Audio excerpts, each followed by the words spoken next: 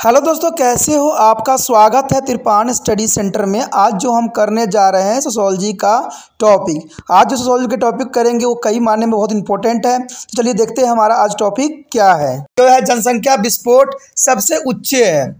जनसंख्या का विस्फोट, यानी जनसंख्या में तेज़ी से विस्तार। इससे अर्थ यह निकलता है कि जनसंख्या की जो है वृद्धि, चौंकाने वाली गति से हो रही है।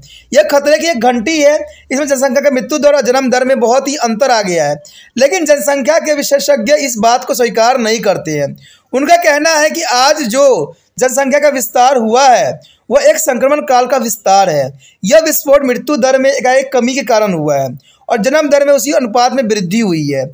भारत में जो है आर्थिक विकास की भविष्य भविष्य इस बात पर निर्भर है कि हम जनसंख्या वृद्धि पर कितना नियंत्रण रख रहे हैं। यानी देखा जाए तो इस बात से बिल्कुल ही जो है दोतरफा बात नहीं किया जा सकता। आज भारत में जनसंख्या विस्फोट हुआ है।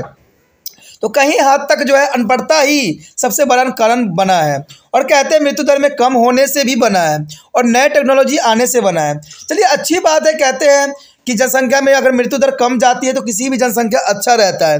लेकिन लोगों को समझदार होना भी कि जनसंख्या विस्फोट हमारे देश के लिए खतरा का विषय हो सकता है, व्यक्ति नहीं सोच पाते हैं। उसके पश्चात हमारे समग्र जनसंख्या के विशेषज्ञों के अनुसार प्रत्येक देश में जनसंख्या का संक्रमण तीन अवस्थाओं से गुजरती है। पहली अवस्था वो होती है जब जन्म दर और मृत्यु दर दोनों ही उच्चे होते हैं। इसका परिणाम सब जनसंख्या लगभग अस्थायी रहती है। इस भांति गाँव में जहाँ परंपरागत मापदंड होता है, यानी शिक्षा की कमी है, वहाँ उच्च जन्म दर पाई भी जाती है। चिकित्सा सुविधाओं की कमी के कारण मृत्यु दर बढ़ भी जाता है।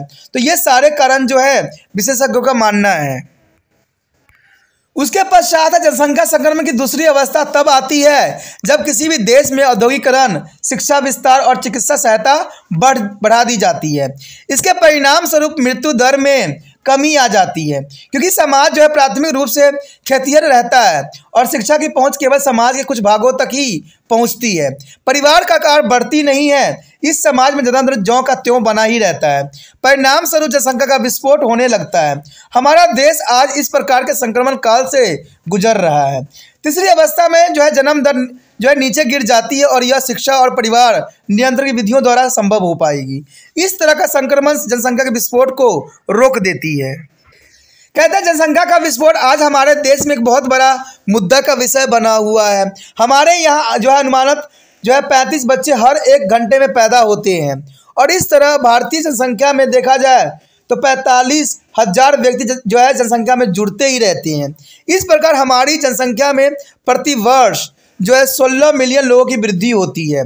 जिन्हें हमें भोजन देना होता है, उनके लिए शिक्षा, आवास तथा नए धंधे उपलब्ध कराने पड़ते हैं। इस बात ही यहाँ जनसंख्या वृद्धि का जो है दो प्रतिशत जो है प्रतिशत वर्ष में बढ़ते रहते हैं। कहते हैं, चीन के बाद भारत की जनसंख्या सबसे ज़्यादा है। सन 2001 में जनसंख्या की प्राथमिक रिपोर्ट जो थी, बाद वाले देशों की जनसंख्या का एक एक सौ दो पॉइंट बहत्तर करोड़ थी। यानी एक सौ दो पॉइंट बहत्तर करोड़ मापा गया था। और आज वर्तमान में हम देख लें तो आज जो है 132 करोड़ जनसंख्या से ऊपर हो चुकी है। इस तरह विश्व की जो है, संपूर्ण जनसंख्या का 16 प्रतिशत भारत में ही निवास करती है। लेकिन विश्व की कुल भूमि का दो पॉइंट चार प्रतिशत भारत में, यानी भूमि की संख्या देखोगे तो बहुत ही कम है। भारत की जनसंख्या बीसवीं शताब्दी में सबसे अधिक बढ़ी है। उसके पश्चात हमारे समक्ष जनसंख्या विस्फोट से उत्पन्न सामाजिक, आर्थिक समस्याएँ। कहते हैं, जब जनसंख्या का विस्फोट होता है, तब इसके परिणाम स्वरूप कई समाज, आर्थिक समस्याएँ देश के सामने उभर कर आती है। इन समस्याओं में सम्मिलित है आवास की कमी, भूमि की कमी, गरीबी निष्ठता जो है निम्न जीवन शैली, बेरोजगारी, कुपोषण, खराब स्वास्थ्य, अपर्याप्त बुनियादी ढांचा स्थानांतरण और अपराध।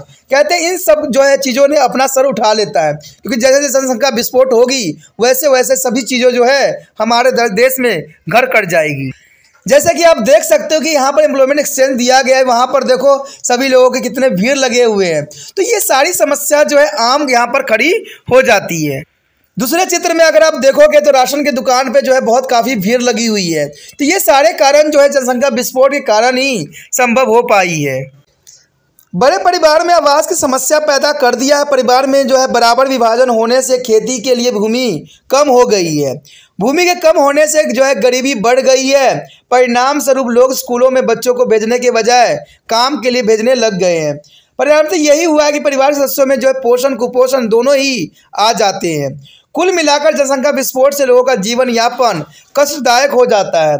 यह स्थिति खान पान की प्रतिमा को बिगाड़ देती है और जनसंख्या की तीव्रता से बढ़ने के कारण बेरोजगारी बढ़ जाती है।